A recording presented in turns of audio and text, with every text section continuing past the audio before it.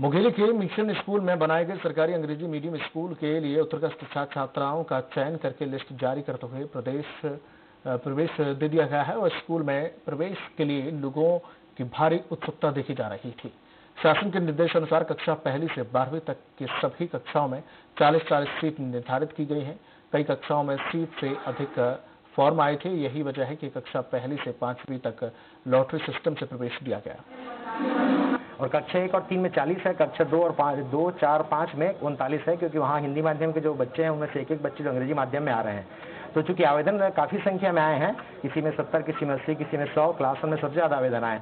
तो उसमें सबसे पहली प्रक्रिया यह है कि जो स्कूल है, उसके एक किलोमीटर की परिधि में जो भी बच्चे हैं, जो भी बच्चों का आवेदन आया है, उनको प्राथमिकता देनी है शासन के निर्धारित मापदंडों के अनुसार। तो उन बच्चों को लॉटरी के बॉक्स में डाला गया है और उनका जो है फिर नाम जो है रेंडमली पेरेंट्स के द्वारा ही बुला करके पेरेंट्स की उपस्थिति में हो रहा है।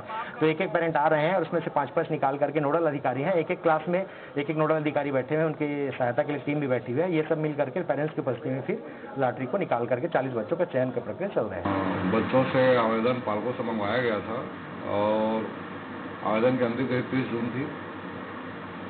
जून की आवेदन प्रत्येक क्लास में संख्या से अधिक मात्रा में था, सीट की संख्या से। उनका एक से पाँच तक क्लास का लाटरी चयन किया गया है और छठी से ग्यारहवीं तक मेरिट आधार पर चयन किया गया है।